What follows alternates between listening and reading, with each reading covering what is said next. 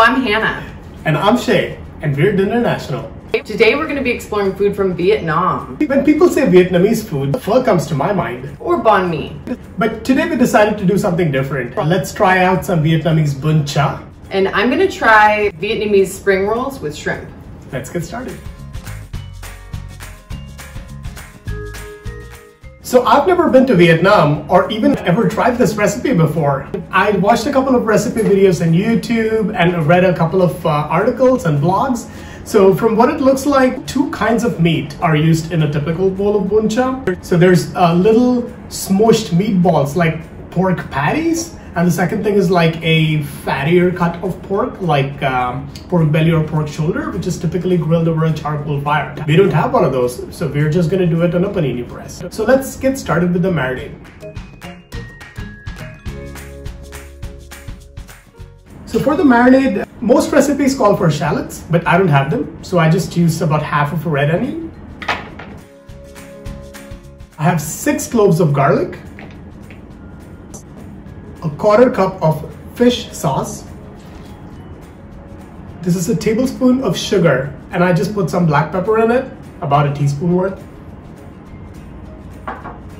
And this is dark soy sauce. So like most great recipes, this one's pretty easy too. So I essentially made the same kind of marinade for both the kinds of meat. So I'll just give this a quick mix and split this marinade in half, pour half on the ground pork and half on the pork belly. So what I have here is thinly sliced strips of pork belly. I just sliced it myself into about half a centimeter length. And this is about uh, one pound of ground pork. And I actually snuck in a little bit of odds and ends of pork belly in there for some extra fat. This is like just, I just had it lying around, so I just put it in there. So I'm gonna pour half of this marinade on our pork belly. And the other half our ground pork. So it is best if you can marinate this overnight, but I, I, don't have that kind of time, so I'm just gonna do it for about two hours. See you in two hours. Great, so while the meat is marinating, we're going to cook the innards of our spring rolls. So that's gonna be shrimp, carrots, cabbage, garlic, all of those things. And um, then we get to the hard part, which is wrapping. So let's go.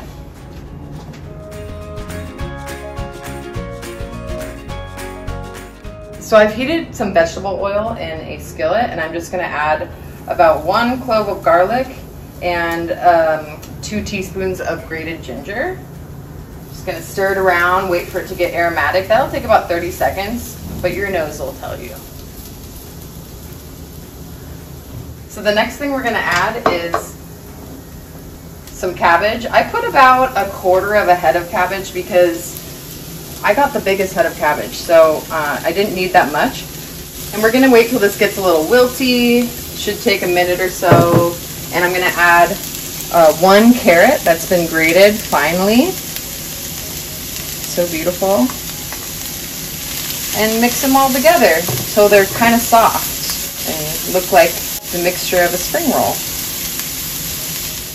So while you weren't looking, I added about a teaspoon of salt and then some freshly ground black pepper.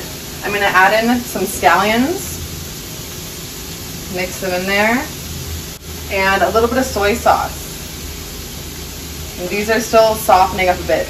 So this recipe calls for mirin, but we don't have any, so we're just going to stick with the soy sauce and hope that works. I'll let you know. So it's been about a minute or two. The cabbage is looking nice and soft. I'm gonna add about seven ounces of chopped raw shrimp that's been deveined.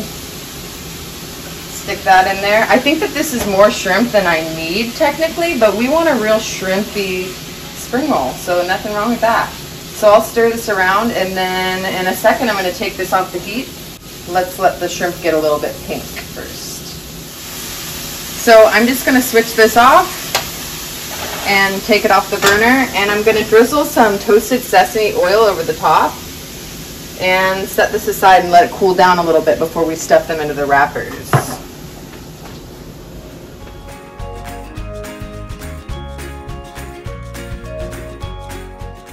Okay, so our filling is cooled off. We're gonna use about a tablespoon of filling um, and put place it near the bottom of the wrapper. The point of the wrapper should be facing you so that you can make a little a tight roll out of this. This might be more than a tablespoon.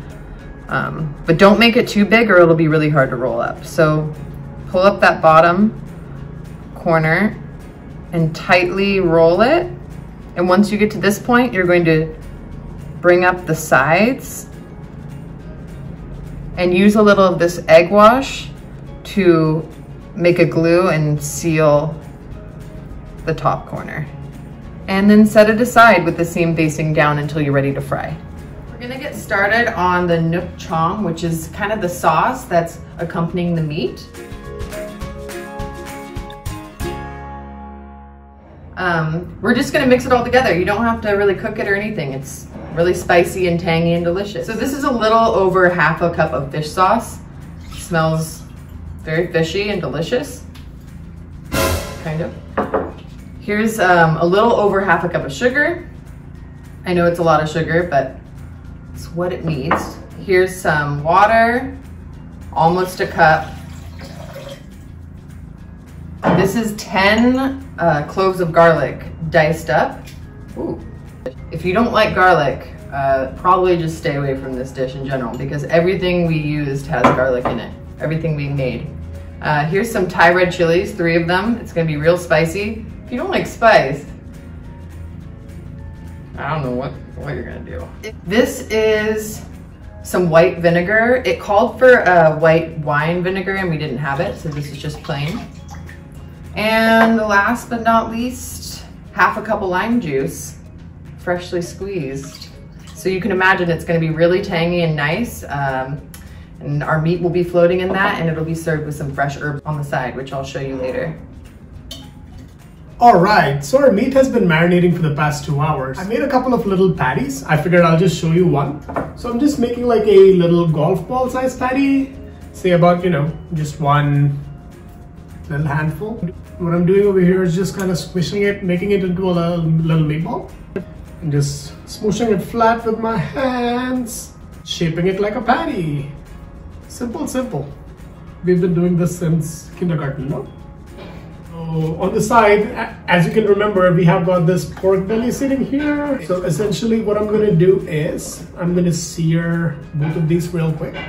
I've got a little bit of vegetable oil over here, just pouring a little bit down.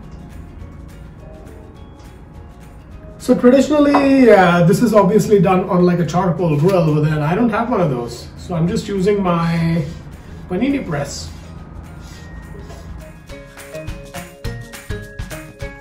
So I'm just gonna sear these patties.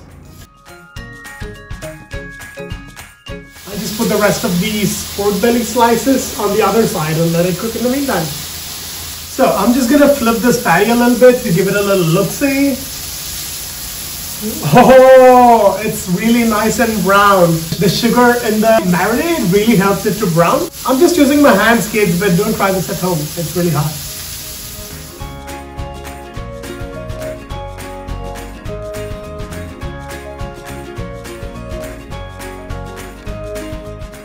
All right, so I have seared both sides of the meat and I'm allowing it to rest for like about five minutes. And while these are resting, I'll have Hannah fry the spring rolls.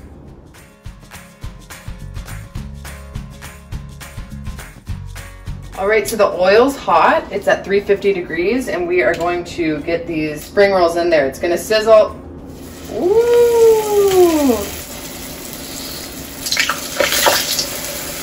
Okay. So steer clear. We did kind of a shallow fry, not necessarily deep fry, because these aren't very big.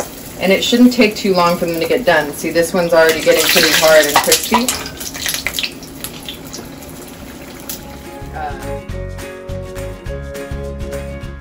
Let's eat. So we're no experts on any of this. So we're just gonna follow what we saw in some of the videos and give it a shot. So this is our rice noodle. We just used a package. We did not make our own. Essentially, we just soaked it in hot water. We're gonna put like a couple slices of the pork belly that we cut into bite-sized pieces. I'm just gonna do like about four slices. And I'm gonna put these patties in there as well. Just start with two. We can always have some more.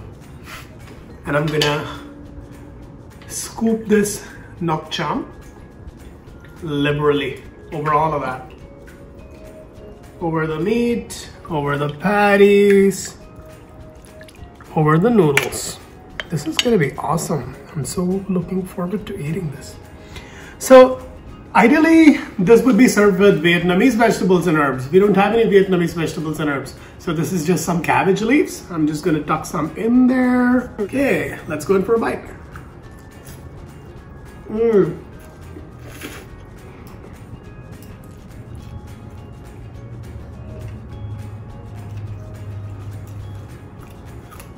Almost forgot these delicious egg rolls. Mmm. So crispy. Man, this is delicious. Wow. Holy moly, this meat is delicious. Yeah. I can see why people like this so much. This is like very flavorful, jam packed. I've never had it before, so this is a first time for me, and mm-hmm. it is definitely something you have to try. Wow, these herbs make it so good. Mmm. And you'd think that the um, what is it, Nook Chum, Nok chum. would be overwhelming. Uh, it's not at all. Like a little too tangy maybe, but it's not. It's great. All right, guys, come back later. Bye bye.